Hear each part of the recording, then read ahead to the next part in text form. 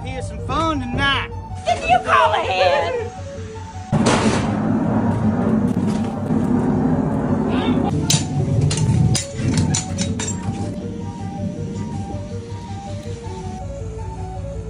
You little camera shy! What are you doing around here? We don't like outsiders.